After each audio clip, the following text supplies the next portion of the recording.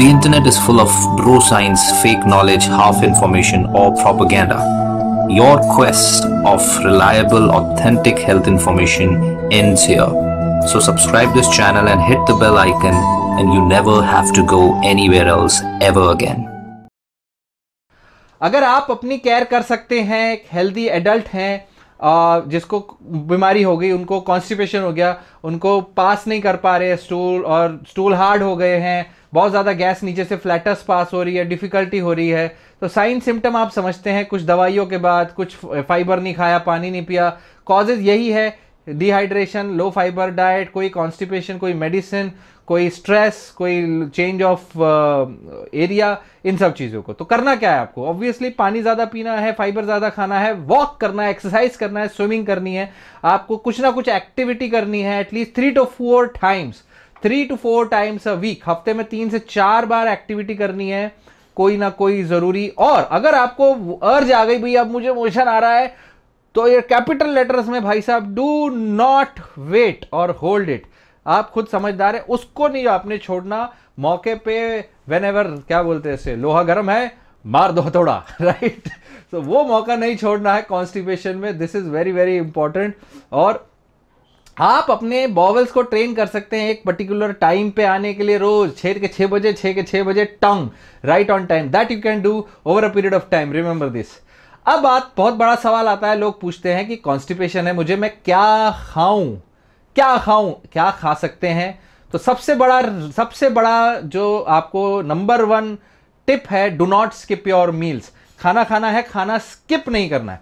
Very very important point do not skip your meals right second processed food avoid करना है, जैसे कि fast food pastries donut sausage fast food burger, potato chip, french fries white breads, इनको avoid करना है। और बहुत सारे फ्रूट जिनमें नेचुरल एग्जिटिव्स होते हैं, उनको खाना है। बहुत सारे हाई फाइबर फ़ूड जो आपकी बॉडी में ऐड करेंगे नेचुरल एग्जिटिव फ्रूट्स हैं बनानाज हैं पपीता है पाइन ये सारी चीज़ें आप खा सकते हो राइट और पानी खूब पीना है, अपना ढाई लीटर कम से कम लिक्विड आपको एक दिन में खाना है। इवन अगर आप नॉर्मल बहुत कोई भी उम्र के हो तो ढाई से चार लीटर तक 2.5 to 4 litres of liquids every day पानी के साथ। पानी लीजिए, नारियल पानी लीजिए वॉट एवर यू वॉन्ट दूध, दही, पनीर, जो भी पनीर तो दूध, दही, लस्सी, छाछ, चाय कॉफ़ी सब मिला के liquid we are talking about आप अपने डॉक्टर से बात कर सकते हैं, अगर आपको बहुत ज़्यादा कॉन्स्टिपेशन है। अगेन हर प्रकार के फ्रूट्स आपको मदद करेंगे। अगर वो भी नहीं कर रहे हैं फाइबर भी नहीं कर रहे हैं वेजिटेबल्स फाइबर देंगी दालें फाइबर देंगी फिशेज आप ट्राई कर सकते हो आ, फ़िश खा सकते हो लीन मीट खा सकते हो। आप अगर आप ये खा रहे हो तो आप एक्स्ट्रा फाइबर मत लो क्योंकि ये ऑलरेडी फाइबर है ठीक है? उसके बाद में आपको ड्राई फ्रूट्स खा सकते हो कोई दिक्कत नहीं है। पॉपकॉर्न खा सकते हो। इसमें आप थोड़ा सा एक से दो चम्मच फ्लैक्सीड ये सब चीज़ें डाल सकते हो। दूसरी योगर्ट दही खाना बहुत ज़रूरी है इस इस मौके पे। जब आपको कॉन्स्टिपेशन है, दही बहुत ज़रूरी है रिमेंबर लेग्जेटिव्स होते हैं उसमें सीरियल्स खा सकते हो सूप खा सकते हो, बहुत ज़रूरी एस्पेक्ट्स है।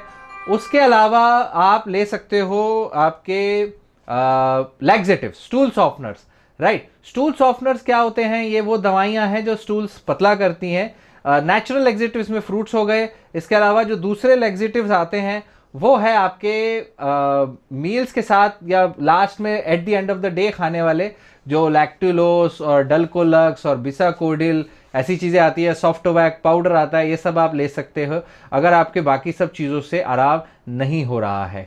रिमेंबर अगर आप प्रेग्नेंट है तो अपने डॉक्टर से पूछें, कोई भी लेग्जेटिव नहीं ले बिना अपने डॉक्टर की एडवाइस के, वरना आप ले सकते हैं। कोई भी लैग्जेटिव लेने पे अगर लूज मोशन हो रहा है तो वो लेग्जेटिव बंद करें, फ़िक्र ना करें, हर एक लूज मोशन के बाद पानी पिए।